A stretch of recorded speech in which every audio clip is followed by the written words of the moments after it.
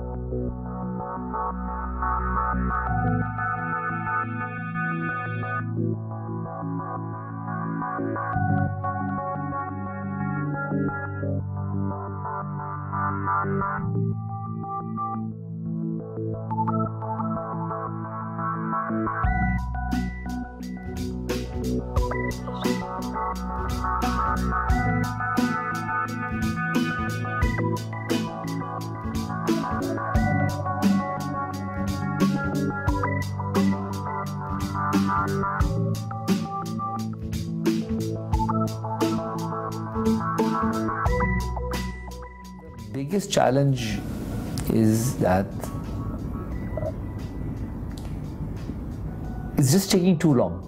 The biggest challenge for eliminating poverty eh, is that it's hard changing behavior, right? What has happened, the poor have been conditioned to believe that they are not empowered right?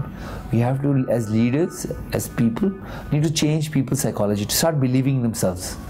Once they start believing in themselves once they realize how powerful they are you will have a revolution on your hand. What we are doing through acumen or what i'm doing through my art of living is actually doing the same empowering. Acumen is creating models leaders to show that it's possible to do things differently right creating models that others can follow they'll get the confidence, they will change. Right? They just need the confidence.